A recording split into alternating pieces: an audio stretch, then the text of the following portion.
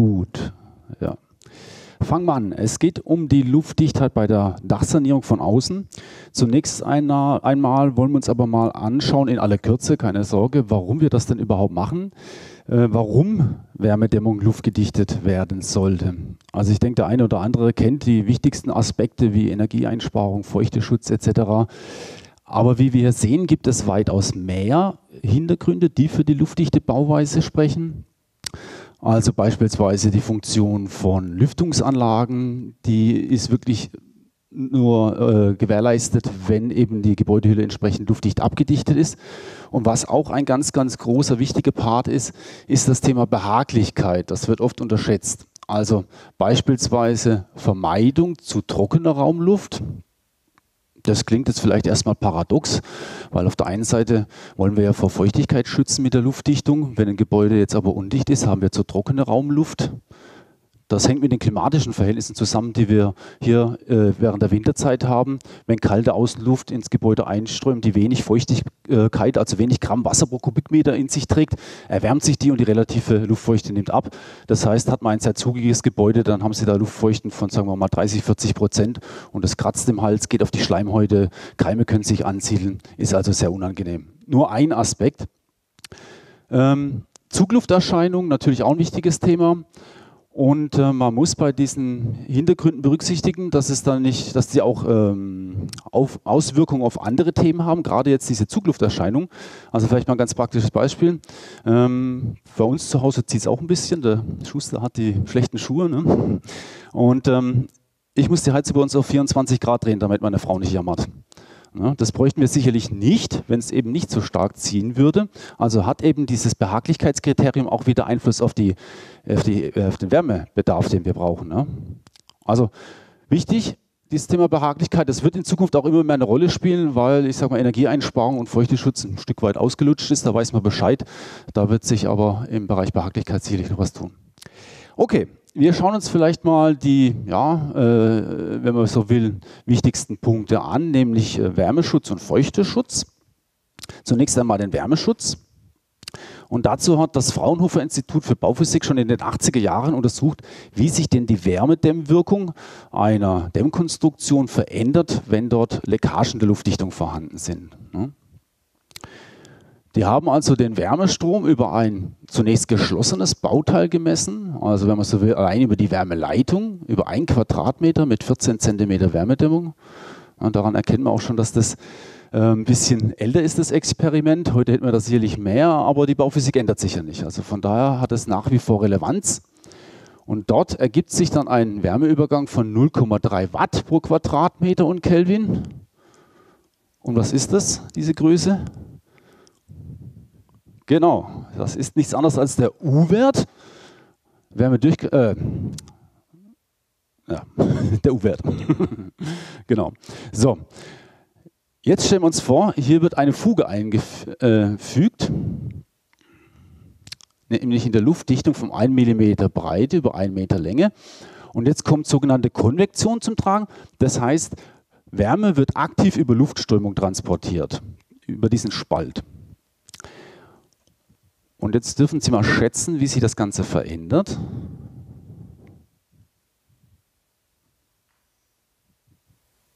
Ja, mutige vor.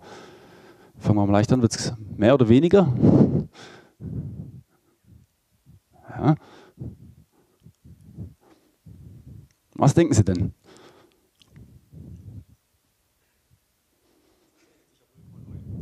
Okay, 0,9, also im Prinzip das Dreifache, wenn man so will. Ne? 0,9 zum ersten, zum zweiten. 1,44 haben die gemessen, also fast das Fünffache, wenn man so will. Und das ist schon enorm, wenn man sich das mal so vorstellt. Ne? Allein aufgrund der Tatsache, dass eben hier die Wärmedämmung nicht geschützt ist und hier damit Wärme über Luftströmung das Gebäude verlassen kann, wenn man so will. Ne? Also bringt der beste Hochleistungswärmedämmstoff, ja, 0,32er Wärmeleitfähigkeit, wie auch immer, nichts, wenn er nicht luftdicht eingepackt ist. Wärmedämmung braucht immer auch Luftdichtung.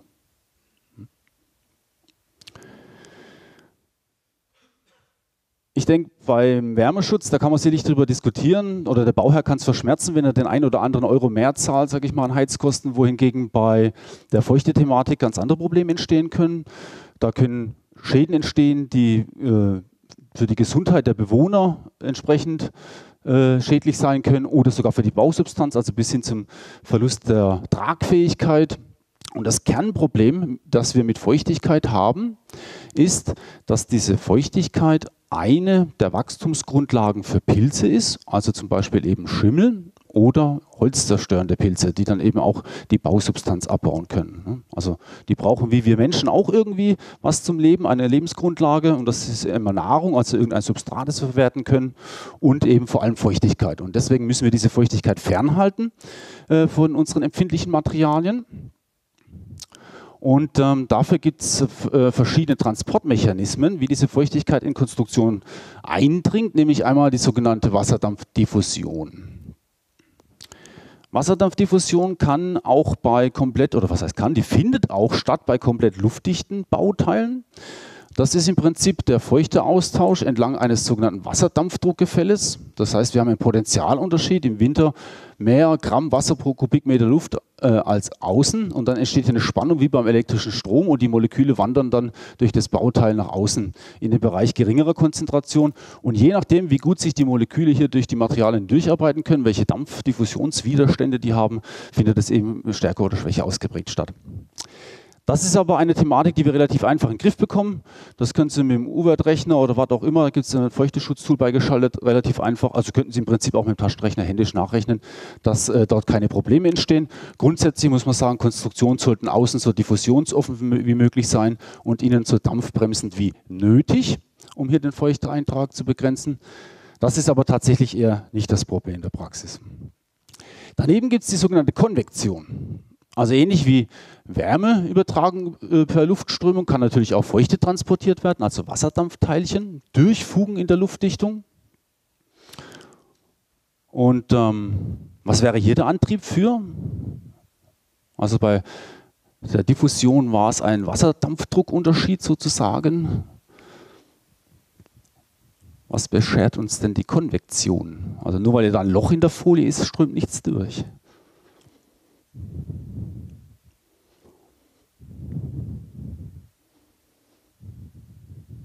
Sein Luftdruckunterschied. Und wo könnte der herkommen? Ja, genau, Temperatur spielt eine Rolle im Prinzip landläufig als Kamineffekt bezeichnet, thermischer Dichteunterschied. Also wir haben im Winter im Innen warme Luft, die ist leichter als die kalte Außenluft, also die, Vergleich, äh, die, die Luftsäule mit vergleichbarer Höhe. Und dadurch entsteht im Gebäude eben oben ein Überdruck und unten ein Unterdruck und die Luft wird oben nach außen gepresst sozusagen. Ne? Und dann strömt sie aber hier durch unser Bauteil, wo dann unter Umständen Schäden entstehen können, weil diese Luft natürlich Feuchtigkeit mit, mit sich führt.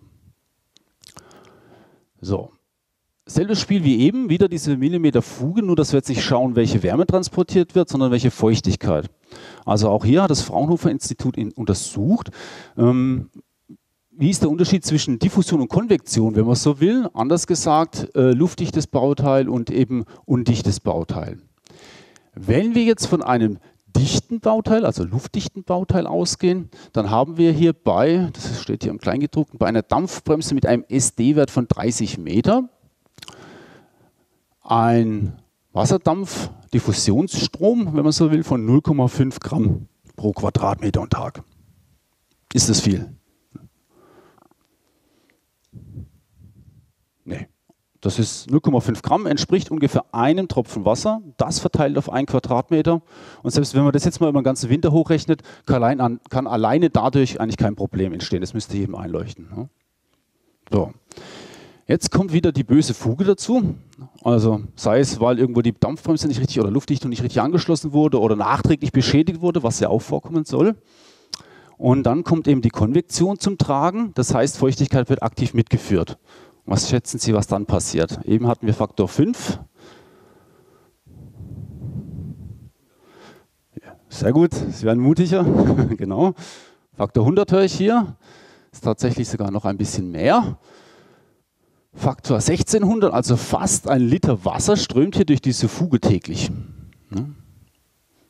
Das muss man erstmal sacken lassen. Wenn man das so sieht, dann müsste man jetzt eigentlich äh, vom Boden zusammensinken, müsste eigentlich jedes zweite Dach absaufen, sage ich jetzt mal.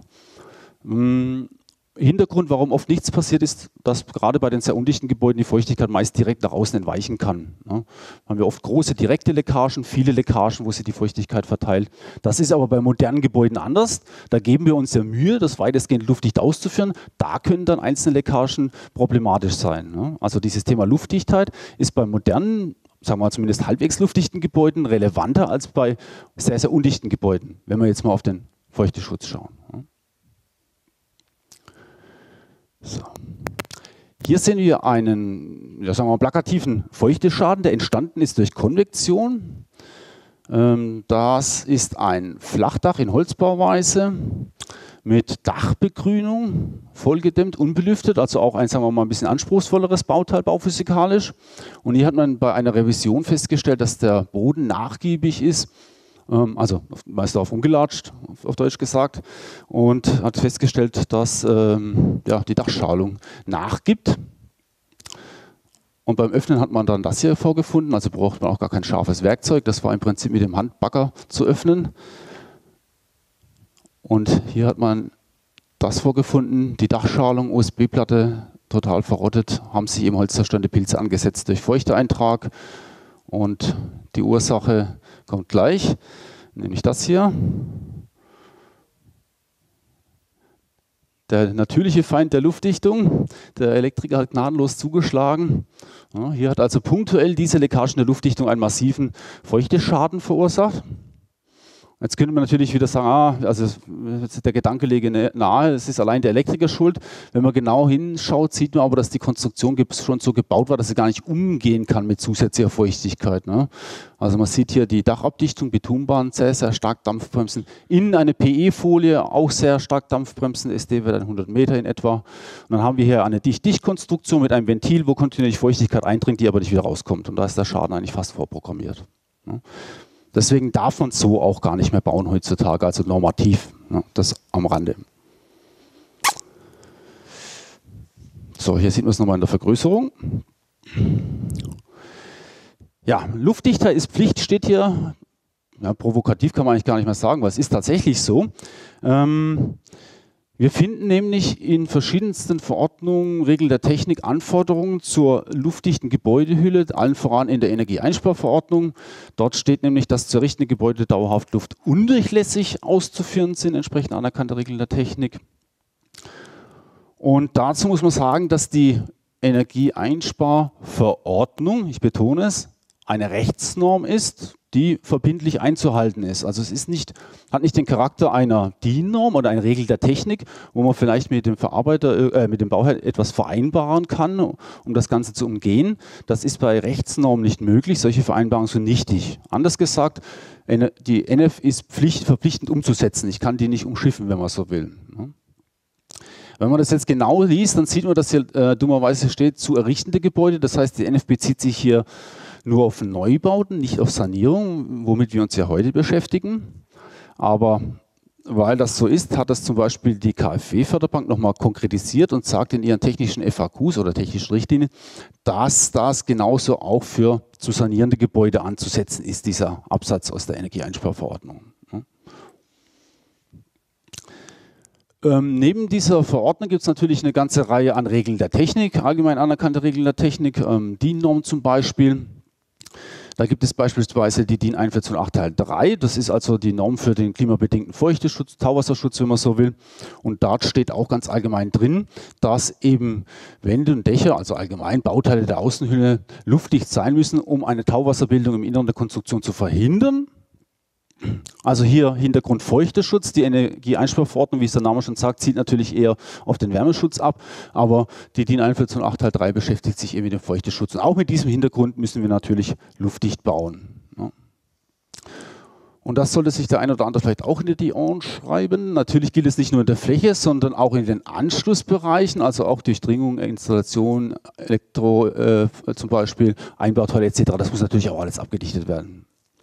Klingt trivial, ist es aber leider nicht mehr. Es gibt sogar eine Norm, die sich explizit oder alleine mit dem Thema Luftdichtheit der Gebäude beschäftigt. Das ist die DIN 148 Teil 7. Also die 4108 ist ja die Wärmeschutzreihe sozusagen und Teil 7 beschäftigt sich explizit mit dem Thema Luftdichtheit von Gebäuden und dort sind auch Anforderungen an die Planung definiert. Zum Beispiel, dass die Luftdichtheitsschicht nicht nur einfach auf der Baustelle entstehen muss irgendwie, ne, inklusive aller Anschlüsse nach Herstellerangaben, sondern die muss vorab sorgfältig geplant und entsprechend dann ausgeschrieben werden und die Arbeiten müssen äh, koordiniert werden. Ja.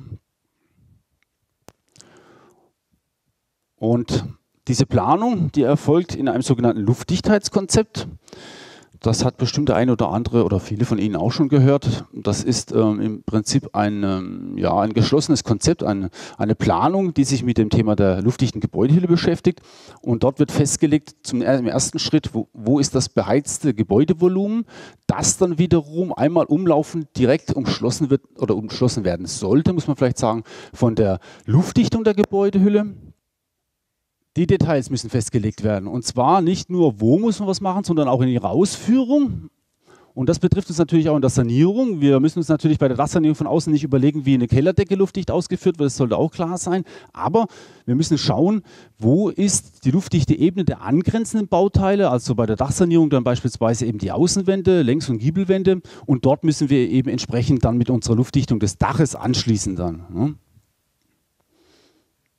Zum Beispiel eben an der Traufe. Und da muss dann die Ausführung äh, festgelegt werden. Bei einer Sanierung von innen oder im Neubau könnte das so aussehen. Das ist jetzt nur mal beispielhaft. Oder von außen eben wie folgt. Muss aber eben eigentlich oder sollte im Vorfeld eben detailliert geplant werden, wie das Ganze auszuführen ist. Und dazu muss man natürlich wissen, wie das Ganze vor Ort ausschaut. Also sollte man sich auch mal den Bestand angeschaut haben und dann natürlich in Einklang mit der Sanierungsmaßnahme, weil je nachdem, wie ich die Luftdichtung verlege, sehen die, die, oder die, die Anschlussdetails natürlich auch unterschiedlich aus und dementsprechend muss die Ausführung dann festgelegt werden. So, kommen wir zu der ersten äh, Variante der Verlegung der Luftdichtung bei der Dachsanierung von außen, ähm, der sogenannten Sub-and-Top-Dachsanierung oder auch schlaufenförmig verlegten Luftdichtung. Das ist relativ weit verbreitet. Ähm, hier passiert folgendes: Wir nehmen vom Dach die alte Dacheindeckung ab, räumen das Gefach leer, also die alte Dämmung raus, sofern eine vorhanden ist. Und dann wird im Prinzip die Kontur des Daches einmal luftdicht nachgefahren, also einmal, wenn man so will, luftdicht eingewickelt mit einer Luftdichtheitsbahn. Und dann ist es im Prinzip einmal umlaufend luftdicht eingetütet. So, Jetzt haben wir hier aber unterschiedliche Anforderungen. Wir sehen hier, dass die Luftdichtung innen verläuft, im Gefachbereich, also unterhalb der Wärmedämmung, während der Tauperiode im Warmbereich, also da, wo sie bauphysikalisch optimalerweise auch sitzen sollte. Dementsprechend brauchen wir hier etwas Dampfbremsendes, um Feuchteeintrag zu verhindern in die Dämmebene. Das ist aber das gar nicht das eigentliche Problem, sondern eher dieser Bereich hier, der Balken- oder Sparrenbereich. Hier verläuft die Luftdichtung nämlich sehr, sehr weit außen, vielleicht sogar an Außenluft angrenzend. Und damit hier kein Feuchteproblem entsteht, muss die Bahn hier hoch dampfdurchlässig oder diffusionsoffen sein. Ja, weil die Bahn wird eben hier nicht angeklebt in dem Bereich. Das heißt, ein Stück weit kann hier Feuchtigkeit zwischen der Bahn und dem Balken nach oben steigen. Hier oben wird es kälter während der Winterzeit. Es könnte Kondensat entstehen. Deswegen muss das hier nach außen entweichen können. Ja. Und um dieses Problem zu lösen, gibt es verschiedene Ansätze. Es gibt beispielsweise Bahnen, wo ich dann die Dampfbremsschicht abziehen kann. Hat sich nicht wirklich durchgesetzt in der Praxis, weil es ja, nicht praktikabel ist, umständlich und auch bei manchen Konstruktionen an die Grenzen gelangt. Also wenn ich zum Beispiel querverlaufende Hölzer habe, äh, was sehr, sehr gut funktioniert, ist eine feuchte variable Dampfbremse. Das heißt, der Diffusionswiderstand, wie es der Name sagt, reagiert auf Feuchtigkeit variabel. Und dann macht die Bahn genau das, was wir brauchen. Hier innen Dampfbremsen, während der Winterzeit haben wir hier eine trockene Luft. Hier oben hohe Luftfeuchtigkeit, hier hochdiffusionsoffen, sodass die Feuchtigkeit hier nach außen entweichen kann. Und das finden Sie so mittlerweile auch in äh, Regeln der Technik, also zum Beispiel in der DIN 148 Teil 3 wieder, also der Feuchteschutznorm, gibt es nachweisfreie Konstruktion für diese, wenn man so will, Sonderverlegungsweise mit der schlaufenförmig verlegten Dampfbremse. Und genau dort wird auch eben eine feuchte variable Dampfbremse gefordert mit entsprechendem SD-Wert. Ähm, und diese Anforderung erfüllt natürlich unsere Bahn, die wir dafür empfehlen. Das ist die DASA Top. Steckt also Dachsanierung und Sub-N-Top drin. Vorteile der Variante ist, ich kann das im Prinzip machen, äh, auch komplett ohne eine zusätzliche Aufdachdämmung. Das kann zum Beispiel relevant sein, wenn ich hier äh, Nachbarbebauung habe, also wenn ich allgemein die Anschlusshöhen äh, einhalten muss oder im Denkmalschutz. Da ist es auch immer wieder ein Thema, dass äh, die, Dach, äh, die, die, Dächer nicht unnötig erhöht werden dürfen. Das können alle Aspekte sein, dass ich hier keine zusätzliche Aufdachdämmung drauf bringe. Und wenn das der Fall ist, dann bin ich eigentlich zwangsläufig bei dieser Sub-End-Top-Variante, weil ich dann eben den Zwischensparenbereich voll ausdämmen kann und hier im Prinzip direkt drüber könnte mit einer diffusionsoffenen Unterdeckbahn. Weiterer Vorteil hat die, diese Verlegungsweise, wenn ich mit Einblasdämmung arbeite, weil wenn ich das Dach schon von außen saniere, möchte ich nicht, natürlich nicht von innen Löcher reinbauen, um die Dämmung einzublasen. Dann wird man das auch von außen machen. Und wenn die Luftdichtung hier äh, unterhalb des der Zwischensparendämmung verläuft, muss ich da gar nicht durch mit dem Einblasschlauch und nicht nachträglich abdichten. Also von daher wäre das jetzt auch ein Vorteil dieser Variante. So. Und jetzt würde ich sagen, schauen wir uns das Ganze mal in der praktischen Verarbeitung an.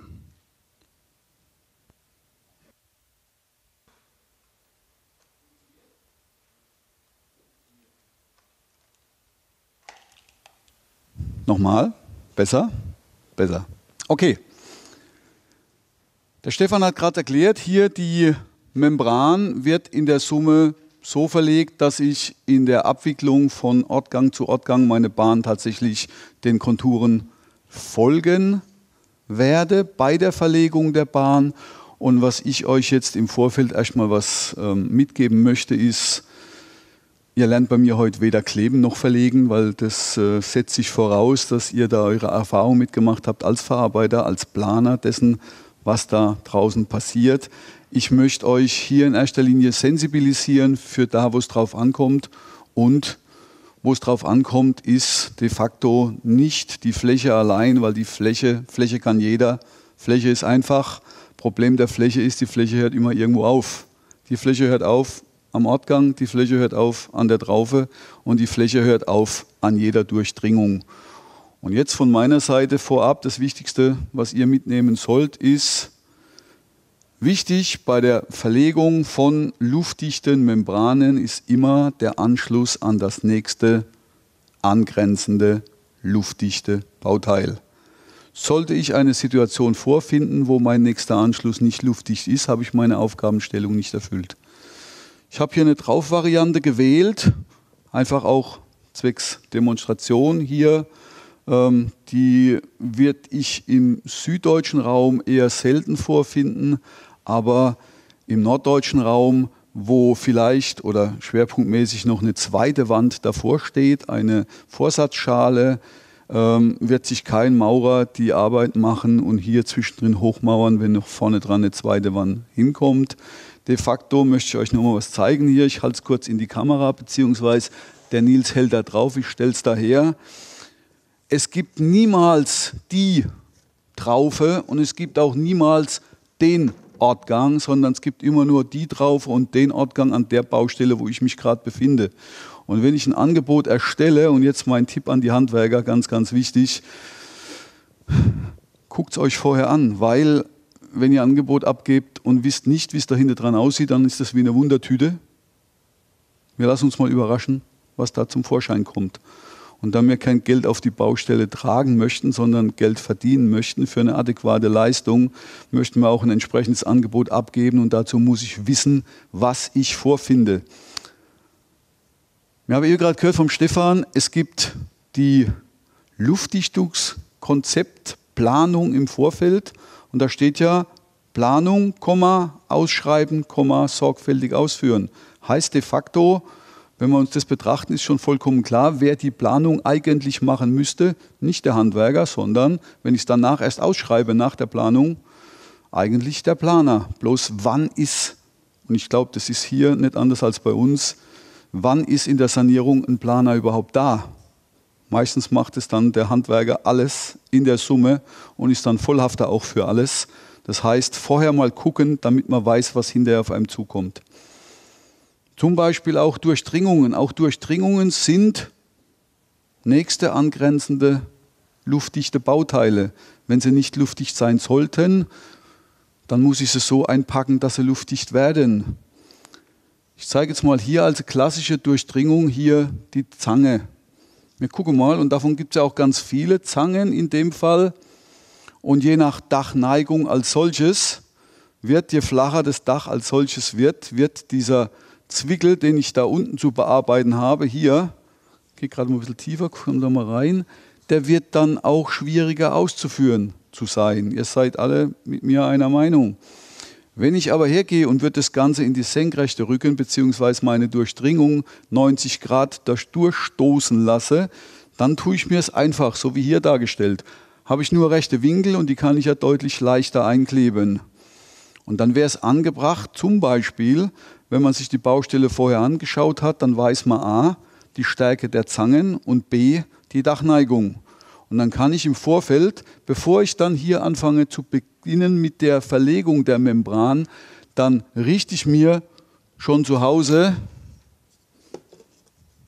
Klötze, die ich als allererste Aktion hier einpflege. Das ist jetzt hier ein bisschen schwieriger, weil die Membran schon da ist. Ich habe gesagt, von der Chronologie her gehen wir zuerst her, machen die Klötze da dran, ich schraube die an und schon habe ich eine Konstruktion, die ich ganz leicht und auch für verkaufbares Geld anschließen kann, weil das hier, das hier deutlich schneller geht und deutlich einfacher und somit auch für den Kunden eindeutig günstiger wird, liegt auf der Hand.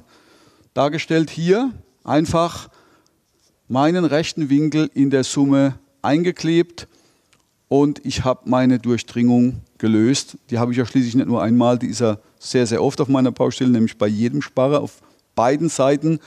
Und manchmal ist es eigentlich so, dass man abends gar nicht merkt, dass man da war, weil man den ganzen Tag vielleicht nur Zange eingeklebt hat. Handwerker, stimme mir bei, oder? Stimme. So. Aber auf die Art und Weise ist es so, dass ich damit vielleicht auch noch tatsächlich Geld verdienen kann, weil der Kunde akzeptiert es und er sieht es und der weiß, was ich da tue. Und ich vor allen Dingen weiß auch, was ich tue, nämlich einen angrenzenden Bauteil luftdicht einzuarbeiten. Jetzt sieht es so aus, es ist auch nicht von Vorteil, wenn ich versuche, eine Abwicklung hier in der Summe von 20 Meter mit 19,70 Meter Membran hier zu lösen, weil das Ergebnis wird sein, dass die Kontur dessen, was ich hier versuche zu auszulegen, hier luftdicht, wird hier mit Spannung versehen sein. Wo kann man es zeigen? Hier, hier ist noch, wenn ich hier anfange zu ziehen, dann kann ich hier die Kontur nicht mitnehmen. Ja? Und dann wird hier Feuchtigkeit am Sparren entlang streichen. Deshalb ist es zwingend notwendig, dass ich hergehe beim Verlegen der Membran, dass ich mir hier Leisten und auch das macht absolut Sinn, keine Holzleiste, die ich vorher zusäge, die ich dann auf der Baustelle auch wieder sägen muss, weil ich sie nicht brechen kann. Einfach hier eine Leiste aus einer Hartfaserplatte hier antackere und dann im richtigen Leben natürlich nicht mit dem Handtacker, weil es zu umständlich ist hier zum Schauen und zum Zeigen natürlich absolut sinnvoll. Hier nehme ich die Kontur mit und hier wird kein feuchter Strom stattfinden, weil da oben, da ist ja unsere kritische Stelle, wie eben schon gehört im Theorievortrag. Hier möchten wir Feuchtigkeit vermeiden, die hier durch Hinterströmung vielleicht passieren könnte. Was auch passieren könnte, was negativ wäre für das, was wir hier tun, ich mache das gerade nochmal weg. Das sieht man schon, das geht tatsächlich schwer. Klammer, in dem Fall ist zwar eine kleine, aber die hält trotzdem das, was es soll. Wenn ich mir das unten drunter angucke, wir sanieren relativ oft, hier, wir sanieren relativ oft Gebäude, da ist auf der Unterseite, ich ziehe das mal raus hier, da ist Heraklit oder ein anderer Stoff, der an einer Dachlatte befestigt wurde und diese Dachlatte wurde, je nach Zeit, wann das Gebäude erstellt wurde, mit Nägeln, mit Schrauben, was auch immer befestigt und da hat auf der Innenseite keiner sich Gedanken gemacht, wie weit diese Schraube oder dieser Nagel auf der Außenseite rausguckt. Ja?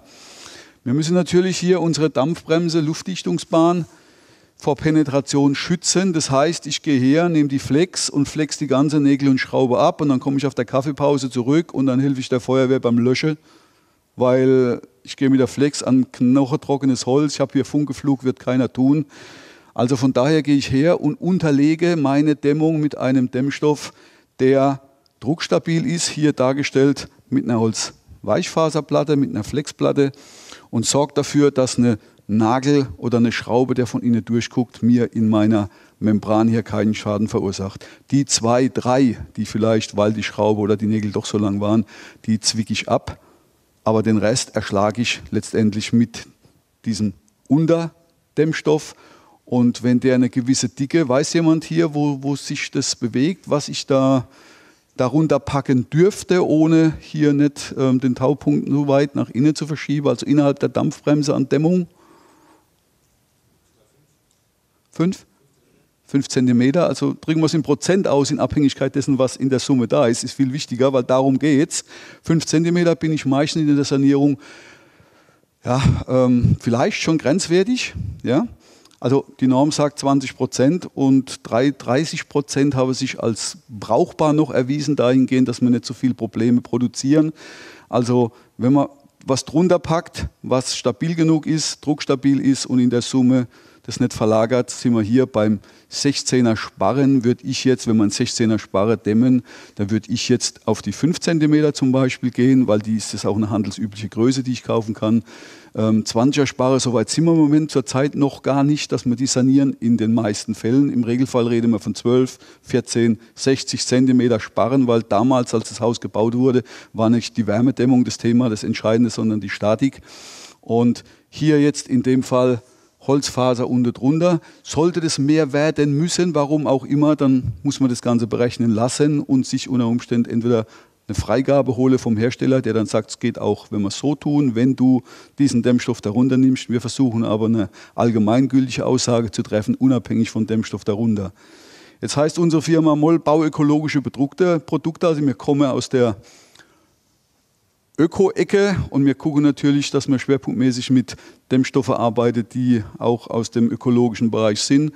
Und hier jetzt mit der Holzfaser, in dem Fall auch in der Zusammenarbeit mit der Firma Gutex hier auf der Seminartour, sind wir hier gut aufgestellt. Ich lasse das jetzt mal draußen, dann brauche ich das da jetzt nicht darunter zu friemeln wieder.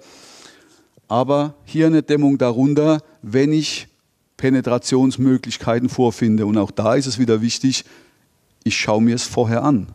Sonst habe ich wieder meine besagte Wundertüte. Ich lasse es jetzt draußen.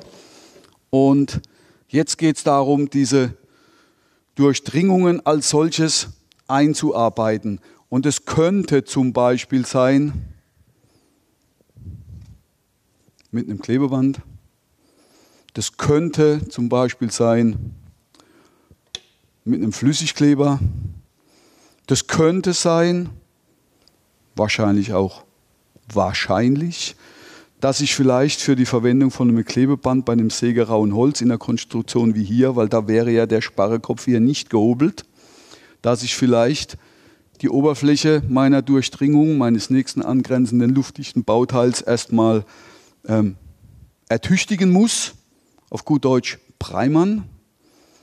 Wenn ich weiß, dass ich mit meinem Flüssigkleber mir meinen Primer ersetzen kann, dann spare ich mir den Arbeitsgang, wenn ich mir über Klebeband erst gar keine Gedanken mache. Ja? Aber wenn ich Primer brauche, gibt es die Möglichkeit, ich habe einen Primer, den ich mit dem Pinsel auftrage oder ich habe den gleichen Primer, den ich auch aufsprühen kann. Mit dem Vorteil, alle beide muss keine Ablüftzeiten einhalten. Also ich kann sofort ins nasse Bett weiterarbeiten. Aber ich brauche einen tragfähigen Untergrund. Und das ist eben entweder mit dem Flüssigkleber, der in die Faserstruktur bei Sägeraumholz eindringt, der Kleber oder eben der Primer bei der Verwendung von Klebebänder. Letztendlich ist es meine Entscheidung. Ich muss dafür einstehen, ich muss dafür gerade stehen, ich muss dafür haften. Die Klebebänder bei uns, die werden geschnitten, nicht gerissen. Jetzt zeige ich mal was, wo der eine oder andere vielleicht sagt, der Tag hat sich heute schon gelohnt. Man braucht keine Fingernägel, um jetzt die Schutzfolie, den Liner zu trennen von dem Klebeband, sondern ich gehe einfach her, lege es in der Hand ganz leicht hohl und ohne Fingernagel ziehe ich es einfach ab. Ja? Also ich muss da nicht auf der Baustelle zwei Stunden extra mit einrechnen, die ich brauche, um hier irgendwo mein Klebeband vom Schutzpapier runterzuziehen. Ist ganz, ganz einfach. Ihr dürft es nachher in der Pause gerne mal probieren. Und das ist jetzt mein Hinweis auch noch für nachher. Ich stehe in jeder Pause hier am Modell. Wenn euch nachher noch Fragen nach dem Vortrag einfallen sollten oder vielleicht auch eine Frage, von der ihr sicher seid, dass sie euch direkt betrifft, weil es um ein aktuelles Projekt geht. Ich stehe hier vorne, könnt mich jederzeit fragen. So, wenn ich jetzt hergehe und gucke, mein nächstes angrenzendes luftdichtes Bauteil hier in dem Fall wäre mein Ringanker, mein Beton, der ja in sich selbst luftdicht ist. Da muss ich hin, da muss ich verkleben. Am Ortgang hier, hier brauche ich, da zeige ich dann auf der anderen Seite was dazu im Nachgang, da brauche ich meinen tragfähigen Untergrund und dann gehe ich her, nehme meinen Kartuschenkleber und auch das mache ich da drüben, das hat Bewandtnis, weil ich möchte die Seite gerne halten für den Vortrag übermorgen, die andere Seite baue ich komplett zurück und deswegen ist das schon eine Schweinerei ne, mit dem Zeug. Klebt ganz toll auch an Haut, Hose, Haare, also schon aufpasse. Und auch für mich hier auf dem Teppich gilt aufpasse, weil ich habe schon mal einen Teppich vernichtet beim Vortrag. Ich gehe her und trage eine Kleberaupe auf. Wir haben uns drauf intern geeinigt hier beim Schulungszweck und so soll es im richtigen Leben auch sein. Wir bleiben im inneren Drittel hier der ganzen Wand, tragen auf eine Dichtraupe, keine Schnur, keine Wurst, eine Raupe, das ist der Fachbegriff. Kann man sich ganz leicht merken, von wegen, was man damit hinterher machen soll, wenn wir es ins Tierreich übertragen. Die Raupe soll die Streicheleinheit überleben. Das heißt, ich drücke diese Raupe im Nachgang nicht platt und sonst nehme ich der Kleberaupe die Möglichkeit anhand ihrer Dicke und der Zähigkeit im Material, die Kohäsion im Material, nämlich die Möglichkeit bei Bauwerksbewegungen hier irgendwo ausgleichend zu wirken, in der Form, dass dann es eventuell zu Abrisse kommen könnte. Durch diese Kleberaube, das ist eine von zwei Möglichkeiten, wie ich auf eine Anpresslatte, die ja früher in der DIN stand, verzichten kann. Das heißt, ich brauche zum einen die Möglichkeit, dass ich hier mehr Material einpflege, eine kleine, wenn es denn möglich ist, eine kleine Dehnschlaufe und dann dieses dicke Material, das ist nicht dazu da, dass man mir Kleber verkaufe, sondern wirklich dazu da, dass es unterm Strich hier die Möglichkeit behält. Es wird auch kleben, wenn ich es anpressen würde, aber im Gegensatz zum Klebeband darf ich Flüssigkleber nicht andrücken. Klebeband dagegen, zeige ich jetzt mal hier, Klebeband wird mit einem, bei uns heißt das Teil Pressfix, ich könnte auch eine Rolle nehmen, ich könnte auch den Handrücken nehmen, wird angedrückt, weil jedes Klebeband, jedes Klebeband, egal für welchen Verwendungszweck, hat immer einen sogenannten Anfangstack und einen Endtack. Tack kommt aus dem Englischen, steht für Klebekraft. Ich übertreibe ein kleines bisschen und sage, es gibt immer eine, eine Anfangshaftung und eine Entklebekraft. Und diese Entklebekraft, die wird erzielt durch Aktivierung des Klebebandes. Und aktivieren kann ich immer nur mit Druck. Das, was ich beim Flüssigkleber auf keinen Fall tun darf, ist ein absolutes Muss beim Klebeband. Heißt, bei einer hier Situation in der horizontalen ist der Gegendruck meiner druckstabilen Dämmung, auch wenn es eine flexible und weiche ist, vollkommen ausreichend, um diese Aktivierung hier zu tätigen. Was natürlich fatal wäre, wäre, wenn ich meine Pressleisten hier im Vorfeld komplett durchlaufen lassen würde und muss später über die Leisten drüber kleben. Auch das sehen wir immer wieder. Also es findet eine Unterbrechung statt, weil diese Leiste ist ja der erste Arbeitsgang und der zweite erst wäre die Verklebung mit, der, mit dem Klebeband. Man kann die Situation auch drehen. Die Bahn gibt es auch in drei Meter Breite. Ich könnte zum Beispiel von der Rolle so viel abwickeln, dass ich ein kleines bisschen mehr als die Länge dessen, was ich brauche, und wickel dann so lang weiter und verlege die Bahne und habe dann einen Vertikalstoß. Bei unserer Membran wird sogar gehen, wobei man möchte trotzdem das eigentlich vermeiden, dass die Verklebung auf dem Sparren wäre. SD-Werte addieren sich 1 zu 1. Wir haben relativ geringen SD-Wert in dieser Stelle. Zweimal eine Bahn übereinander ist zweimal der SD-Wert und dann noch ein Klebeband drauf, was auch einen eigenen SD-Wert hat. Ähm, sinnvoll wäre, auch wie bei, bei der Unterdämmung, ich würde so eine Verklebung unabhängig von irgendeiner Art von Verschnitt, weil was wir verkaufen letztendlich ist Zeit da draußen, ja. Ich würde an der Seite, an der Flanke vom Sparren, weil ich dann, wenn ich mir selbst nicht traue, bei der Verlegung, hier habe ich ja einen Gegendruck am Sparren mit meinem Pressfix, um das Klebeband zu aktivieren, im unteren Drittel diese Verklebung tun. Oder, auch das haben wir schon gemacht, größere Bahnen im Vorfeld sogar miteinander zu verkleben und dann als Ganzes hier einzupflegen. Das sind die Möglichkeiten, die ich habe mit der Membran beim Verlegen ich kann von unten beginnen, ich kann von oben beginnen, ich kann, wenn ich von oben beginne, auf dem Dachbestand laufen, indem ich nur so viel wegnehme, wie ich tatsächlich brauche, um zu arbeiten, kann sauber mich von oben nach unten arbeiten und habe, wenn ich unten ankomme, keinerlei Löcher in meiner Membran für irgendwelche Steiglatten oder sowas ähnliches. Aber das ist wiederum das, was ich zu Beginn gesagt habe, ich möchte euch gar nicht erklären müssen, wie ihr es macht. Ich möchte euch Tipps und Möglichkeiten an die Hand leben. Und ich bin, wie gesagt, nachher hier. Das wäre die Variante subtop. Ich muss gucken, dass ich hier keine Hinterströmung zulasse. Ich muss meine Durchdringungen einkleben und ich muss meine Anschlüsse einkleben. Und Durchdringungen, jetzt kommt wieder der Stefan ins Spiel, habe ich jetzt zum Beispiel ganz, ganz viele Durchdringungen und es sind nicht nur Zangen, das sind auch noch ganz andere Sachen, die mir das Leben schwer machen und vielleicht dafür sorgen, dass ich am Markt gar keinen Preis, gar keine äh, Möglichkeit habe, das für einen adäquaten Preis zu verkaufen, dann gibt es eine Alternative und die stellt jetzt nochmal der Stefan vor.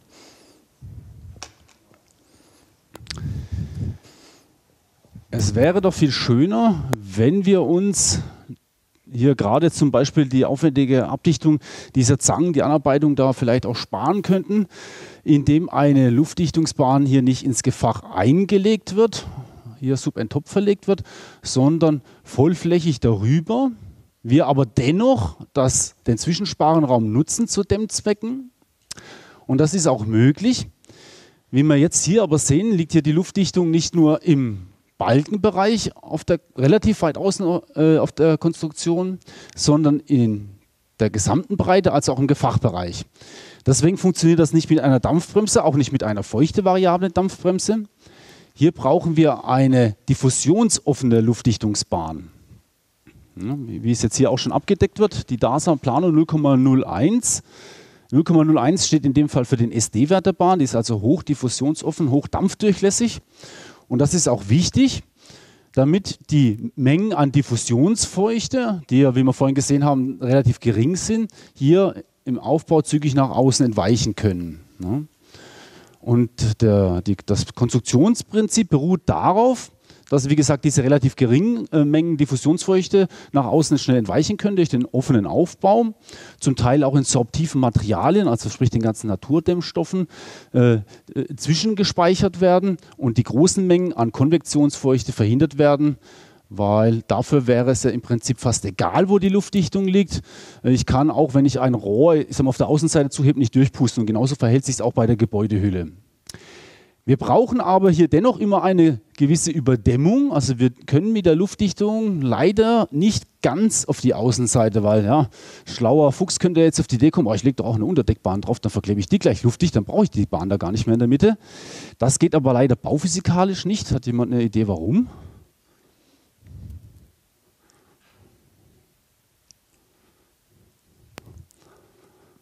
Stellen, also stellen wir uns vor, die Bahn wäre perfekt luftdicht abgedichtet. Dann könnte es dennoch zu Hinterströmungen dieser Bahn kommen. Also durch diesen thermischen Auftrieb ne, können wir uns vorstellen, dass vielleicht unten am Fußpunkt des Daches unterhalb der Luftdichtung Feuchtigkeit in den Aufbau gelangt, also unter dieser Schicht, und dann an der Dachschräge entlang nach oben steigt. Wenn die Bahn jetzt an der Außenseite, auf, der Außenseite liegen würde, würde es sich an der Stelle abkühlen, könnte wieder Kondensat entstehen. Also deswegen muss die Luftdichtung immer eine gewisse Überdämmung erfahren, damit eben hier ähm, die Luft sich nicht so weit abkühlt, dass hier Kondensat ansteht an dieser Stelle. Auch wenn alles perfekt luftdicht wäre. Ne? So, wichtig, wie gesagt, diffusionsoffen muss die Bahn sein. Und ähm, damit muss man erstmal klarkommen, sage ich mal, weil normalerweise ist eine Luftdichtung gleichzeitig auch Dampfbremse. Das muss aber nicht so sein. Und wie gesagt, ist hier in dem Fall sogar wichtig, dass es eben nicht so ist, sondern dass die Bahn höchst diffusionsoffen ist. Und wie man diese Dampfdurchlässigkeit herstellen kann, dafür gibt es äh, im Prinzip zwei Mechanismen oder zwei äh, Herstellungsweisen, wenn man so will. Nämlich einmal die konventionelle Technik, sogenannte mikroporöse Bahn. Das ist, was man unter dem Mikroskopaufnahme links hier sieht. Da wird also die Funktionsschicht der Bahn im Herstellungsprozess unter Chemie- und Temperatureinsatz gestretcht, gedehnt, sodass diese Mikroporen entstehen, die man hier sieht. Und die sind dann so groß oder klein, wie man wie sieht, dass eben flüssiges Wasser nicht hindurchpasst, aber Wasserdampfmoleküle nach außen entweichen können sollen. Das ist so die Funktionsweise dieser Bahn. Ne? Demgegenüber gibt es eine modernere Technologie, nennt sich monolithische Polymermischung. Und wie Sie sehen, sehen Sie nichts, weil hier gibt es nämlich keine Löcher im Funktionsfilm. Der Feuchtetransport findet hier aktiv entlang der Molekularstruktur statt, hat was mit molekularen Kräften zu tun. Also großer Vorteil der Geschichte ist, dass sich hier eben keine Löcher, sage ich jetzt mal ein bisschen abfällig, habe in der Bahn. Und das, denke ich, sollte jedem einleuchten, dass das mehr Sicherheit bietet. Zum einen vor Wasser während der Freibewitterungszeit und natürlich auch hinsichtlich der Luftdichtheit. Und ähm, das kann man auch recht schön veranschaulichen mit einem kleinen Experiment. Ich habe hier was vorbereitet. So. Das ist im Prinzip nichts anderes als ein, was weiß ähnlich wie ein Einmachglas mit einer Luftpumpe. Und hier habe ich eine mikroporöse Unterspannbahn oder Luftdichtungsbahn eingelegt, hier in diese Pumpe darüber eine Wassersäule aufgebracht. Und jetzt bringe ich mit dieser Handpumpe hier Druck auf. Und jetzt kann man hier relativ eindrücklich sehen, wie hier die Bläschen aufsteigen. Und daran kann man eben eine, so eine derartige mikroporöse Bahn erkennen. Ja. So, damit sollte auch klar sein, dass diese Bahn eben nicht die nicht die Sicherheit bieten kann wie eine Bahn, die geschlossen ist. Und natürlich kriegen Sie auch den Vergleich. Wir entnehmen jetzt ein Muster. so, jetzt gucke ich mal, dass ich das hier kleckerfrei hinkriege. Hm. Dankeschön.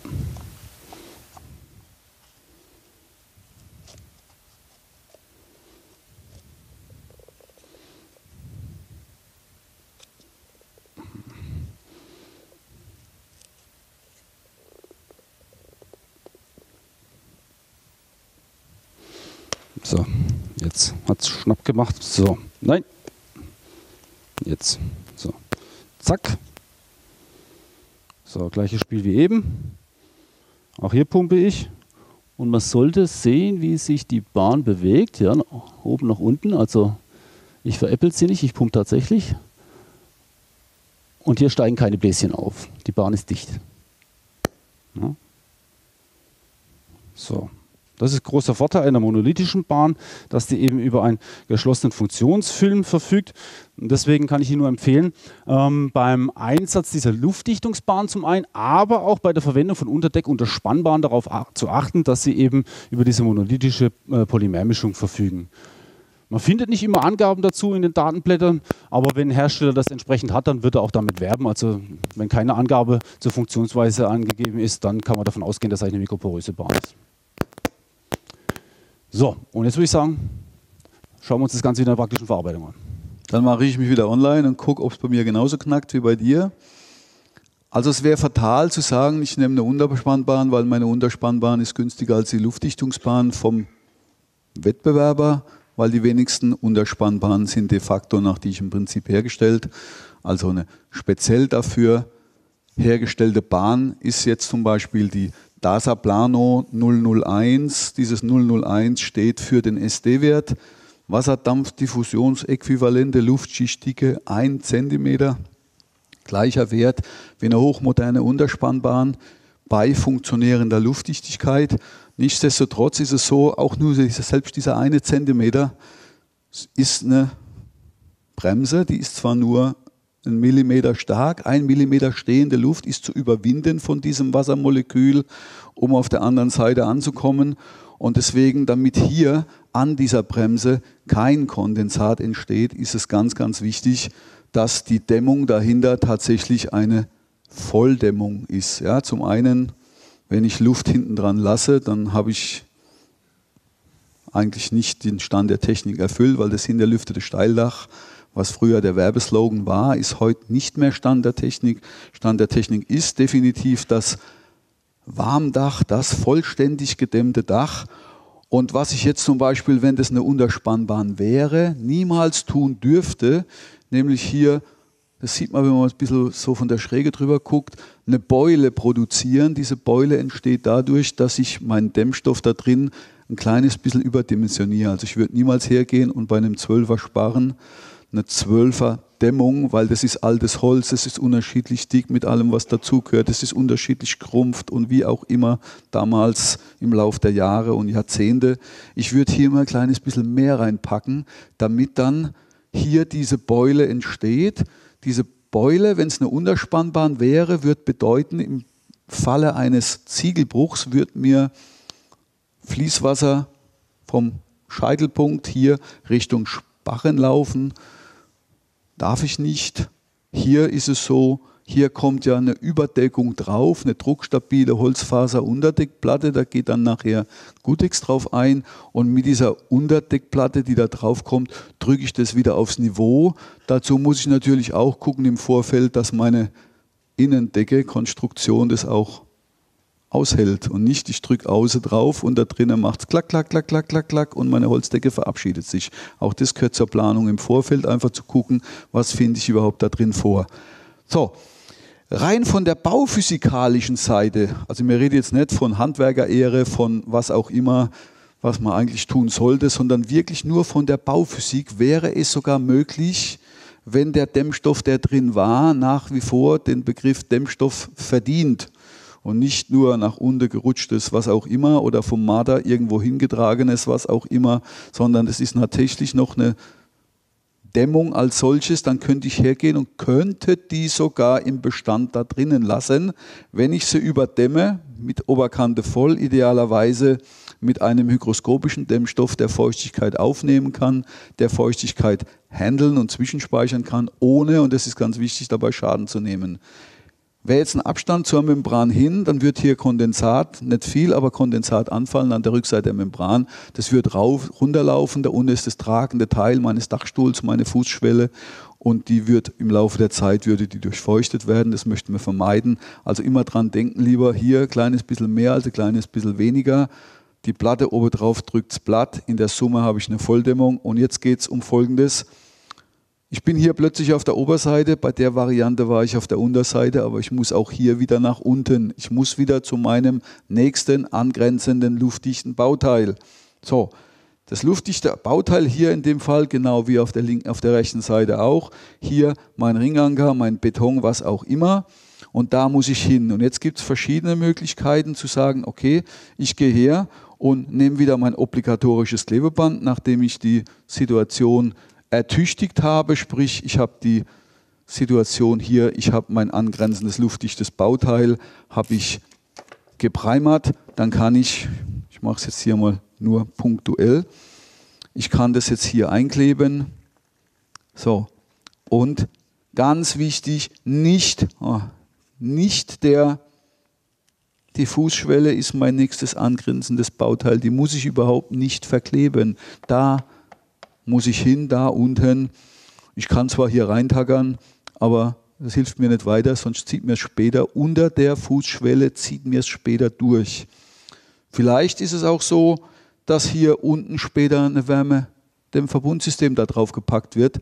Und wenn hier dem so wäre, dann könnte ich auch den bis dato vorhandenen Außenputz, wenn es sowas gibt, in der vielleicht anderen Draufsituation, und nicht bei der Vorsatzschale, dann könnte ich auch den Außenputz zu meiner neuen Luftdichtungsschicht machen, weil das, was die Membran oder die OSB in der Leichtbau, Holzbau-Variante ist, ist im Mauerwerksbereich immer der Putz. Niemals das Mauerwerk, Mauerwerk ist definitiv auch Kalksandstein, ist nicht luftdicht. Nur der Putz macht es für mich als Verarbeiter von Membranen und Klebebänder zu einem Partner, sprich zu einem angrenzenden Bauteil. Jetzt kommt das, was ich Ihnen vorhin versprochen habe, euch hier. Also darüber hat gar keiner, gar keiner reagiert. Ja? Als ich meinen wunderbaren Ortganganschluss hier gezeigt habe, meinen Ringanker, ähm, das wäre ja schön, wenn man sowas vorfinden würde, denn die Realität sieht aber normalerweise so aus. Ne? So, und da wäre es auch ganz clever, wenn ich vorher wüsste, wie es aussieht, weil auch das ist ein Teil, den ich in meiner Aufgabenstellung drin habe. Entweder ich muss dafür sorgen, dass wieder dieses tolle Wort Ertüchtigung, dass es vorher ertüchtigt wird, oder ich habe es in meinem Portfolio dabei.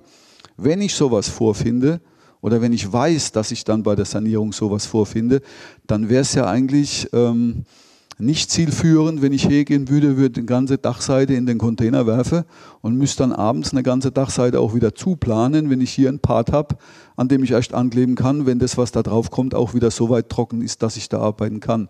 Das heißt, ich würde hergehen und würde erstmal die Ortgänge öffnen, weil die kann ich abends relativ schnell notgedrungen wieder schließen als Notdeckung.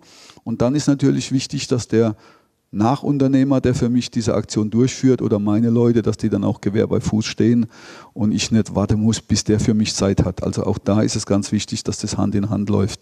Und wenn ich denn dann hier meine angrenzendes, luftdichtes Bauteil habe, dann, und jetzt zeige ich es mit meinem Flüssigkleber, dann gehe ich her und mache diese obligatorische Raube, von der ich eben gesprochen habe. Und kann auch hergehen, ich mache es hier nicht zugunsten des Teppichs. Ich könnte auch die Spitze nachschneiden, damit de facto mehr auf einmal rauskommt. Und du hast das alles im Bild. Ich gehe her und trage hier meine Raube auf. Ich schaffe zwar Akkord, aber es wäre auch hier nicht zielführend, durchzuziehen, bis nichts mehr kommt und dann da vorne wieder weiter pumpe. Also ich gucke, dass ich das nahtlos hier auftrage und damit ich dann diese Kleberaupe auch erhalten kann beim Einbringen der Membran, gehe ich her und bette die Membran nur ein. Hier ist der Kleber. Ich fahre mit den Fingern jeweils am Rand entlang. Also ich glaube, in den Verarbeitungsrichtlinien steht drin, 8 mm auftragen und auf 6 mm zusammendrücken. Dass das Theorie ist, das wissen wir alle. Ja? Also ich gucke, dass ich genug drauf packe und vielleicht klappt es ja auch mit 6 auf 4. Vielleicht brauche ich auch 12 auf 10. Das kommt auf die Situation an und es kommt auf das an, was derjenige, der das hier gemacht hat, für mich diese Ertüchtigung, dass das äh, eine glatte Oberfläche ist. Hätte ich jetzt hier einen tatsächlichen Untergrund, so wie hier gezeigt, könnte ich auch mit dem Klebeband arbeiten, auch mit diesem Klebeband, was ich hier gezeigt habe. Ähm, habe ich aber hier was mit einer groben Oberfläche, dann bin ich mit dem Flüssigkleber deutlich besser bedient. Oder vielleicht, ich wechsle das Klebeband, ein Klebeband auf Butylbasis, was eine ganz andere Materialdicke hat und ein ganz anderes Fließverhalten in den Untergrund. Immer situationsbedingt vor Ort entscheiden. Jetzt haben wir hier unseren Sparren als Durchdringung, den wir hier auch wieder einbinden müssen. Und hier habe ich jetzt ein Gimmick dabei. Das ist eine Kartonleiste, könnt ihr euch nachher gerne angucken. Und auf dieser Kartonleiste, da fehlt einfach in der Mitte, fehlt von dem Klebebandrückseite, fehlt die Schutzfolie, kleines Stück. Auf der Ecke ist es dann aufgeklebt und es hilft mir tierisch, auch wenn es aussieht erstmal, das ist totaler Schwachsinn, wer hat sich sowas Blödes ausgedacht, ja. Aber wenn ich den hergehe und ich konfiguriere mir den und dann nehme auch nicht den Cutter dazu, dann in dem Fall habe ich hier einen Allesschneider, ja. Ich schneide mir die auf die Länge, die ich brauche. Hoppla, macht nichts. Ich gehe her, ich zeige es jetzt mal am Sparenüberstand und packe mir das am Sparren hier. Wo bist du da oder da? Wo soll ich hin? Gehen wir hier rüber. Ich klappe vorher bitte schön dieses Klebeband zur Seite. Also so wäre es nicht zielführend, dann würde ich mir die Hälfte dessen, was es kann, wegnehmen. Ich klappe das um und schieße den an und habe jetzt hier einen Hintergrund, an dem ich definitiv, man sieht es, da ist es schon da, hier kann ich sogar antackern. Ich mache das weg. Ich lasse den da runterlaufen. Ne, ich zeige es hier, das ist einfacher, weil da habe ich ihn schon entsprechend nachgeschnitten. Hier wollte ich noch was anderes demonstrieren. Also hier ist mein Klebeband, hier ist mein, meine Membran. Ich tagger die jetzt hier an, kann da rein tackern. So, und kann dann den Liner abziehen und habe sofort eine Verbindung zu, meinem, zu meiner Membran. Ja, komm her, jetzt der Vorführeffekt jetzt. So, einmal, habt es wieder gesehen, ohne, ohne Fingernagel. Ah, das hat vorhin weggenommen gehabt, egal. So, ich klebe hier an und dann klebe ich da an. Dann habe ich zwei Fliege mit einer Klappe geschlagen, hier in dem Bereich macht es da drüben genauso, verbinde miteinander. Aber kritisch wird es natürlich da, weil der Sparren hat ja vier Seiten. Da unten, da wird es für mich problematisch. Da sieht man noch ein bisschen Tesa, weil wir haben unseren Sparre auf der Unterseite geschützt, weil der soll ja noch ein bisschen halten. Hier in dem Fall ist es auch wieder nicht nötig, dass ich am Sparren anklebe, äh, nicht an der Schwelle anklebe, aber ich muss von meinem angrenzenden Bauteil auf die Rückseite meines Sparren kommen. Ich möchte gern verhindern, dass ich irgendwo hängen bleibe, wo ich bis da zu diesem Zeitpunkt gar nicht kleben möchte und habe ich kein Sonderklebeband dabei, die gibt es auch, wo die Hälfte klebt, die andere Hälfte noch nicht. Sowas zeige ich nachher am Kamin. Dann gehe ich her und mache mir so ein Sonderklebeband einfach ganz schnell selbst. Und ich gehe her und klebe die übereinander und hätte jetzt die Situation, ich könnte jetzt hier entlangfahren und an meinem Sparren ankleben und unten auf die auf mein nächstes angrenzendes luftdichtes Bauteil. Ich mache das jetzt gerade mal. Ich fädel da unten durch. Das ist jetzt groß genug, dass ich das auch tun kann. So, ich bin hier, klebe an meinen Sparren, habe jetzt gesehen, oh, ist leider Gottes immer noch zu schmal, ist ja kein Problem. Klebebänder kann ich verkleben, auch zwei, auch mal drei übereinander an so einer punktuellen Stelle ist das überhaupt kein Problem. Und jetzt muss ich hier kleben und muss natürlich auch wieder aktivieren. Und dann gehen wir her und da wäre jetzt mein Pressfix zu groß. Und dann gehen wir einfach her und konfigurieren uns nochmal unseren Pressfix in neu, in der Größe, mit der ich da auch was anfangen kann und kann dann da unten mein Klebeband antreiben und mache dann meine Verklebung auf mein angrenzendes Bauteil. Ich mache das, ich habe gesagt, ich bin in jeder Pause am Modell, ich mache das nachher am Modell im Einzelnen fertig und nachher sehen wir das in komplett mit verschiedenen Varianten, wie das dann hinterher aussehen könnte. Wie es aussehen tut als solches, spielt letztendlich keine Rolle. Wichtig ist nur, dass es dauerhaft luftdicht ist ans nächste angrenzende Bauteil und, das ist jetzt wiederum mein Tipp an die Handwerker, es muss nicht schön aussehen, aber wenn es schön aussieht, hilft es beim Verkaufen. Weil wenn mein Kunde abends mal guckt, weil er aufs Gerücht hochkommt und er ist auch noch schwindelfrei und er hebt mal die Notdeckung auf und guckt da drunter und die sehen alle unterschiedlich aus ähm, und er ist vielleicht Lehrer von Beruf, dann habe ich vielleicht ein Problem hinterher. Und deshalb wäre es ideal, wenn die auch alle gleich aussehen. Die Firma Roto hat für sowas ähm, ein Wort kreiert, das heißt Best Practice, egal wie man an die Situation dran geht. Da geht es auch um Luftdichtungsbahnen anschließend ans Fenster. Man definiert vorher in der Firma, wie man es macht und dann ist vollkommen egal, wer da hingeht, es sieht immer gleich aus. Weil wenn hier 20 Stück sind und das sind 20 verschiedene Varianten, dann werde ich Schwierigkeiten haben, dem Kunde zu erklären, dass das eine hochwertige handwerkliche Leistung ist, für die er das entsprechende Geld zu zahlen hat.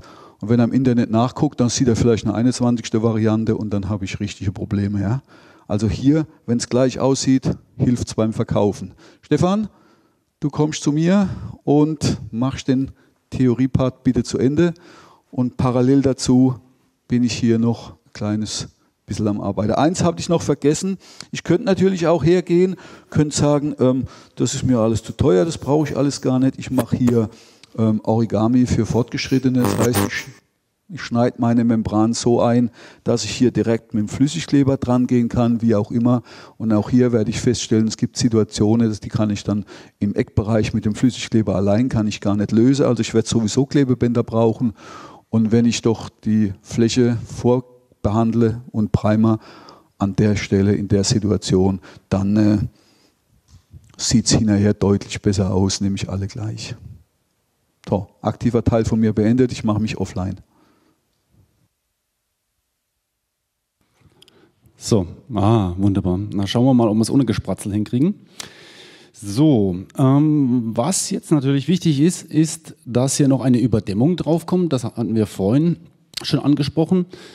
Also hier, die Luftdichtungsbahn muss überdämmt werden, mm, zum Beispiel mit einer Holzfaserunterdeckplatte. Also die Bahn kann dann auch gleich die Funktion als zweite wasserführende Ebene unter der Dacheindeckung erfüllen. Das ist ganz praktisch. Und jetzt gibt es äh, verschiedene Empfehlungen, wie stark diese Überdämmung sein sollte. Ähm, wir haben das relativ anwenderfreundlich aufbereitet. Nämlich gibt es einmal eine 2 zu 1 und eine 3 zu 1 Lösung. Und dieses Verhältnis, das bezieht sich auf das Verhältnis zwischen Sparendämmung zu Aufdachdämmung. 2 zu 1 heißt also, habe ich zwei Teile Gefachdämmung, also beispielsweise 12 cm. Dann brauche ich mindestens ein Teil, also mindestens 6 cm. Mindestens, wohlgemerkt, also gerne auch mehr an Überdämmung. Ähm, das funktioniert im Prinzip eigentlich immer, diese 2 zu 1 Lösung. Ähm, hier kann der, auf der Innenseite eigentlich vorhanden sein, was will, wenn man so will, sofern ich mit einem sorptiven Dämmstoff arbeite im Zwischensparbereich, also zum Beispiel einer flexiblen Holzfaser. Das ist also relativ universell anwendbar. Ähm, wenn man das ein bisschen ausreizen möchte, weil man nicht mehr Überdämmung aufbringen kann oder was auch immer, dann kann man auf diese 3 zu 1 Lösung gehen. Heißt, die Überdämmung muss dann nur noch ein Drittel betragen der Gefachdämmung. Äh, und das ist möglich, wenn wir irgendwas im Innenbereich haben, was dampfbremsende Wirkung erzeugt. Also beispielsweise eine Dampfbremse im Bestand, muss auch nicht luftdicht sein, oder eine Holzschalung vollflächig, Sichtholzdecke oder verputzte Holzschalung, weil dann diese Schicht den Diffusionsstrom schon mal ein Stück weit begrenzt in das Bauteil und dann kommen wir mit weniger Überdämmung aus. So, also Sie müssen sich das jetzt nicht äh, alles notieren. Ich denke, 2 zu 1, das kann man noch ganz gut behalten. Wie gesagt, in Verbindung mit sorptiven Dämmstoff geht eigentlich immer. Ähm, für andere Fälle können Sie uns gerne kontaktieren. Und Sie finden es natürlich auch in unseren Planungsunterlagen auf unserer Homepage, vielen Kanälen sozusagen. Vielleicht noch ein Hinweis, das sind jetzt unsere Empfehlungen. Das ist jetzt nichts, was Sie so allgemeingültig in einer Regel der Technik, sprich in einer Norm finden, sondern unsere Herstellerempfehlung. Und es kann sein, dass es bei einem anderen Systemanbieter wieder ganz anders aussieht. Es ist nicht so, dass der eine recht hat, der andere nicht, sondern das sind einfach abweichende Empfehlungen. Also bei Gutex ist das auch wieder ein bisschen anders aufgebaut als bei uns vielleicht. Und für Sie ist eben nur wichtig, dass das, was Sie machen, durch einen Systemanbieter abgedeckt ist, was natürlich dann auch haftungsrechtliche Konsequenzen hat dann entsprechend. Ne? Okay. Sie finden das zum Beispiel auch auf www.wissenwiki.de. Das ist eine Wissensplattform. Man kann es am Namen erahnen, ähnlich wie Wikipedia aufgebaut. Also modernes digitales Medium sozusagen, nur dass sich hier alles rund um das Thema Bauen dreht. Und hier können Sie dann relativ einfach mit dem Smartphone oder ähnlichem dann über Schlagwortsuche dann Informationen zum luftdichten Bauen abgreifen und so eben auch diese Empfehlung, was dieses äh, über dem Verhältnis anbelangt. So, Fazit, wir vergleichen nochmal beide Varianten. Also vielleicht nochmal eine allgemeine Empfehlung an Sie. Ich erlebe immer wieder auf äh, Seminaren, Vorträgen, dass gerade auf Seiten der Verarbeiter ähm, passiert, dass man sich auf eine Variante festlegt. Das sagt der eine, oh, ich mache diesen schlaufenförmigen, sage ich schon fast nicht mehr, das ist mir viel zu aufwendig. Ich mache nur noch das eine oder das andere. Das würde ich nicht tun. Ich würde mir die individuellen Gegebenheiten anschauen. Was haben wir bei dem jeweiligen Bauvorhaben für Anschlüsse? Was will der Bauherr? Was kann ich machen, gerade was Überdämmung etc. anbelangt? Und dann im Einzelfall festlegen, was ist die sinnvollere oder und wirtschaftlichere Variante dann. Ne? Also man sollte vielleicht schon beide Varianten im Hinterkopf haben und dann, wie gesagt, im Einzelfall schauen, was macht vor Ort dann tatsächlich auch Sinn, ist wirtschaftlich etc. Ne? So, und ähm, die Vorteile der Plano-Variante, wenn man so will. Die, denke ich, liegen fast schon auf der Hand, ist zum einen die einfache Verlegung. Ne? Ich kann die Bahn vollflächig übers Dach verlegen, auch über diverse Problemstellen. Also sprich, gerade wenn ich eine Gliederung im Dach habe, wie jetzt Kehlen, Grate etc., kann ich da relativ einfach die Bahn drüberlegen. Ich muss keine Zangen oder ähnliches andichten, muss mich nicht um Perforation kümmern, weil die Bahn in einer ganz anderen Ebene verläuft. Ist also zum einen einfacher, aber auch schneller zu verlegen. Und was man nicht unterschätzen sollte, ist das Thema Witterungsschutz, weil diese Bahn ja im Prinzip ist ja, so, ist ja wie eine Behelfsdeckung mit einer Unterdeckbahn. Ich habe eine ebene Fläche, wo das Wasser sauber gezielt ablaufen kann, wohingegen ich bei der Sub-and-Top-Variante mit hoher Wahrscheinlichkeit Bereiche äh, oder mit Bereichen rechnen muss, wo das Wasser stehen bleibt. Also habe ich irgendwo Auswechslung, zum Beispiel hinter Dachfenstern, kann ich das Wasser da nicht ableiten. Deswegen ist es ungünstig, diese Variante frei zu bewittern, wohingegen das hier sehr gut funktioniert. Hm? So, entscheidendes Kriterium ist aber, dass ich hier immer diese Überdämmung aufbringen muss. Und das wiederum ist der Vorteil der anderen Variante, weil bei der Sub-and-Top-Verlegung eben keine Überdämmung zwingend erforderlich ist. Ne? Also wenn ich das aus Denkmalschutzgründen, Anschlusshöhen begrenzten etc. nicht machen kann, dann ist eben die Sub-and-Top-Variante umsetzbar. Genau. Hier brauchen wir eine feuchte variable Dampfbremse als Luftdichtung. Hier eine diffusionsoffene Luftdichtungsbahn als Luftdichtung. Und Vorteile der Sub-and-Top-Variante, kann man vielleicht auch nochmal erwähnen, ist eben wie gesagt, dass wenn man mit Einbassdämmung von außen arbeitet, ist es von Vorteil, man muss auch sagen, dass es eigentlich, wenn man jetzt mal den Regelaufbau anschaut, im Gefach, die eigentlich sichere Variante ist. Also ich habe hier die Luftdichtung dort, wo sie bauphysikalisch optimal sitzt, nämlich im Warmbereich und damit weniger Feuchtigkeit hier in der Zwischensparendämmung. Nichtsdestotrotz funktioniert das natürlich auch mit entsprechenden Sicherheiten, aber hier hat man eben weniger Feuchtigkeit in der Dämmung, wenn man so will. Das jetzt nochmal zusammengefasst der Vergleich der beiden Varianten. Möchtest du noch was zur Praxis sagen? Ein. Und zwar ist es natürlich so, wenn man jetzt mal da oben ein bisschen was rattern lasse, wir haben hier jetzt gehört, wir müssen hier eine Überdämmung liefern. In unserer Variante 2 zu 1 wird bedeuten, beim 16er Sparren hier eine 8er Holzfaser, beim 14er Sparren eine 7er Holzfaser. Blödsinn, kann man nicht kaufen auch eine Achter Holzfaser. Mehr ist kein Problem, weniger müsste man den Hersteller der Bahn mit einbeziehen, inwieweit der dafür eine Freigabe gibt. Wir von ProKlima sind der Meinung, auch wenn wir heute hier mit Gutex da sind, unser System sollte mit jeder Holzfaser ähm, funktionieren.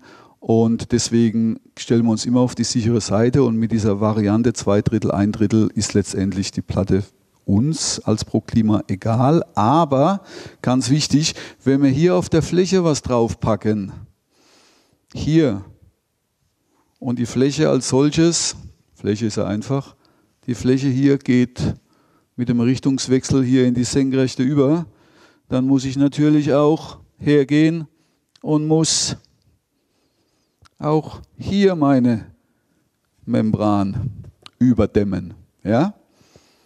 aber natürlich nicht mit sowas. Holzfaser, das ist für Demonstrationszwecke heute und hier geeignet. Aber die ja nicht, äh, ich kann die ja nicht komprimieren. Also hier wäre wiederum auch was, was ich zwischen die Sparren einklemmen kann. Ja, hier, wir sehen ja, die kann ich ja wirklich passgenau und kann dann Unebenheiten bei Rundholz oder von mir aus auch bei bei Halbholz, ja, wenn das Ganze irgendwo nicht parallel ist in der Flanke, kann ich das damit korrigieren. Ich kann aber auch oder ich muss aber auch dahingehend mir Gedanken machen, weil ich vielleicht aufgrund der baulichen Gegebenheit, die ich habe, vielleicht, je nachdem, was ich unter Umständen vorfinde, im Vorfeld einen sichtbaren Sparrenkopf an der Traufe habe und eine sichtbare Schalung obenauf, ich vielleicht, und der Bauphysik ist in dem Fall ganz klar Vorzug zu geben vor der Ästhetik, ich muss vielleicht im Nachhinein meinem Kunden eine Untersichtschalung verkaufen, damit ich eine Dämmung da noch einbringen kann. Ja, also ich muss wirklich diese Gedankengänge wie beim Schachspiele, ich muss viel weiter sein als da, wo meine Hände sind und allein schon in der Angebotsphase, damit ich weiß, was wird passieren. Ich muss vielleicht irgendwo Stellbrett mit einkalkulieren, um irgendwas optisch zu verdecken, weil ich muss meine Membran überdämmen hier in dem Bereich. Da nicht, da schon. Also all diese Faktoren spielen eine ganz große Rolle. Und nochmal Appell an die Handwerker, Appell an die Planer, gönnt euren Handwerkern, der verkauft euch keine Ware, das macht der Händler. Der Handwerker verkauft eine fertige Dienstleistung, liefern und fachgerecht montieren. Und es geht nicht im Akkord, obwohl Dacharbeiter leider Gottes sind Akkord. Aber hier in dem Fall ist es Millimeterarbeit. Wir machen jeden Tag was auf, was wir vielleicht noch nie in der Form gesehen haben. Somit machen wir keinen Akkord wie in der Fabrik, sondern wir machen eigentlich jeden Tag ein Erlkönig, irgendwas, was noch nie da war. Und den müssen wir auf der Baustelle lösen können. Und da hilft es ungemein, wenn wir es tatsächlich vorher schon mal gesehen haben oder der Planer mir eine Ausschreibung und ein Luftdichtungskonzept liefert, mit dem ich auch arbeiten kann. So, das war es jetzt definitiv von mir und ich mache mich wieder offline. Okay. So, na.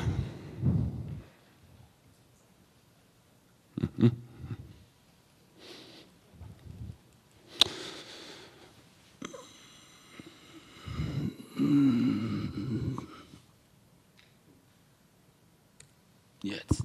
So. Wenn Sie dazu, wenn Ihnen dann im Nachgang noch Fragen einfallen, so muss man vielleicht sagen, oder Sie das Ganze im Einzelfall auch von uns überprüft haben möchten, ist gar kein Problem.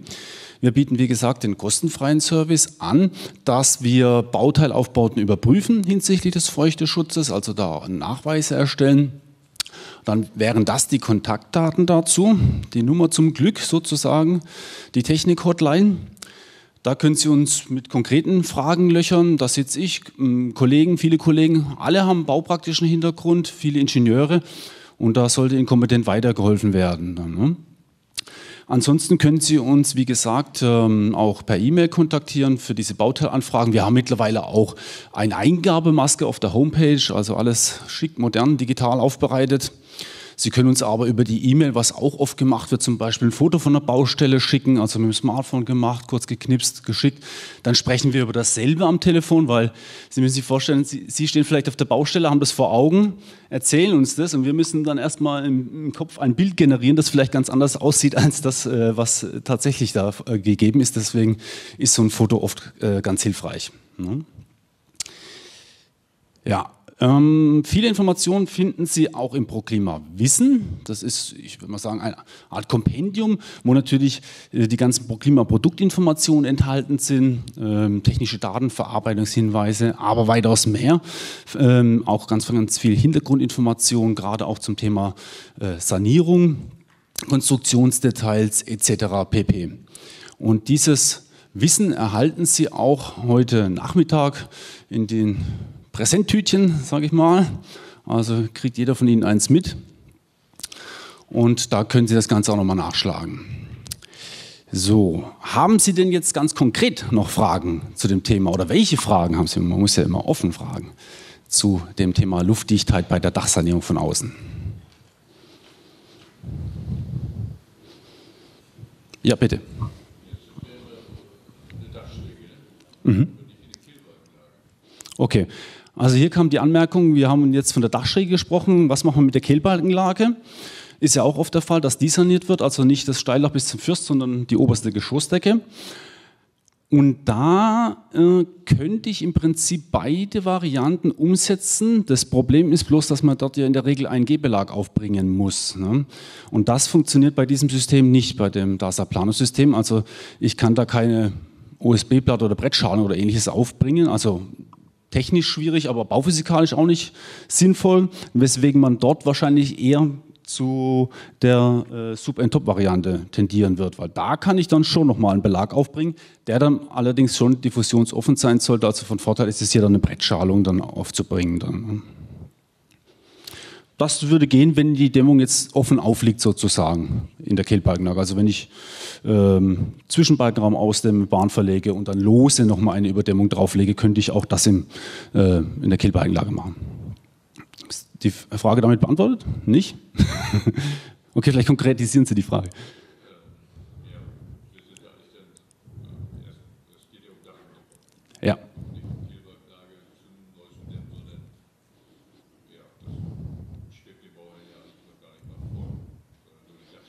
Mhm.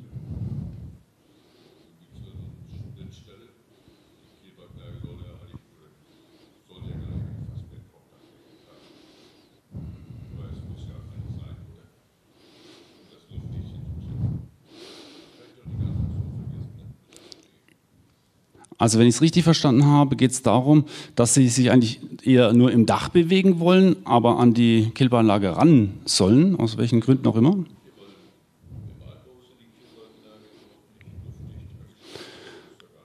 Ah, okay. Also die Anmerkung wäre, weil die, Luft, äh, weil die, die Kilbanlage nicht luftdicht abgedichtet ist im Bestand. Okay, also geht es eigentlich im, also geht's um die prinzipielle Anordnung der Luftdichtung, ob jetzt eben Kehlbalkenlager oder im Dachbereich, beziehungsweise wie die miteinander zu verbinden sind. Okay. Ja, da muss ich schauen, was äh, im Einzelfall mh, hm, gewünscht ist sozusagen, oder man muss sich da auf eine Ebene festlegen, so muss man vielleicht sagen. Also entweder die Luftdichtung verläuft einmal über die komplette Dachfläche, also inklusive des Fürstes sozusagen, dann ist jetzt luftdichtungstechnisch die Kehlbalkenlage egal. Jetzt mal es mal auf den Punkt zu bringen, mm, weil die sich ja innerhalb der thermischen Gebäudehülle bewegt. Ne? Ist das nicht der Fall, also ist die Kehlbalkenlage mm, die obere Begrenzung Beheiz des beheizten Gebäudevolumens, dann muss ich mit der Luftdichtung natürlich vom Dach, also im unteren Dachgeschoss, dann irgendwie nach innen und auf die Kehlbalkenlage. Und das ist mitunter aufwendig, ne? weil Sie müssen dann ja, äh, durch die Balkenebene hier mit der Luftdichtung Daher wäre wieder die Sub-and-Top-Variante von Vorteil, weil da ist die Luftdichtung im Gefachbereich schon mal unten, wo, sie, wo, ich dann auch anschließen kann. Aber ich muss hier durch die Ebene durch. Das heißt, Sie müssen halt im Einzelfall schauen, ähm, was sind die Gegebenheiten, wo verläuft die Luftdichtung, beziehungsweise, oder Sie legen es fest. Ne? Es muss halt eindeutig sein, also nicht in beiden Ebenen, ähm, Dach bis zum Fürsthoch und äh, Balken, äh, Kältbalkenlage, sondern eins von beiden. Es hat beides Vor- und Nachteile. Für die Dachsanierung von außen ist es sicherlich einfacher, wenn Sie sich fürs Dach entscheiden, weil dann können Sie das einmal komplett luftdicht einpacken und müssen und sparen sich diesen aufwendigen Übergang im Kehlbalkenbereich. Jetzt beantwortet?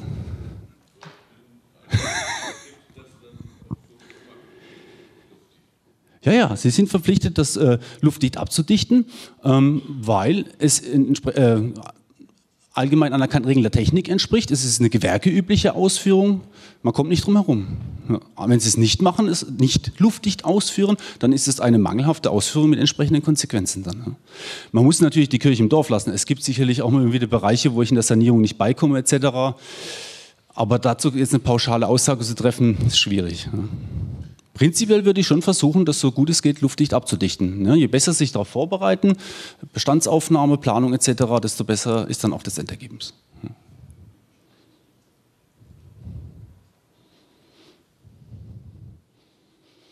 Okay, also ansonsten stehe auch ich gerne während der Pausen zu, oder für Fragen zur Verfügung, gerne auch im Nachgang per Telefon, E-Mail etc.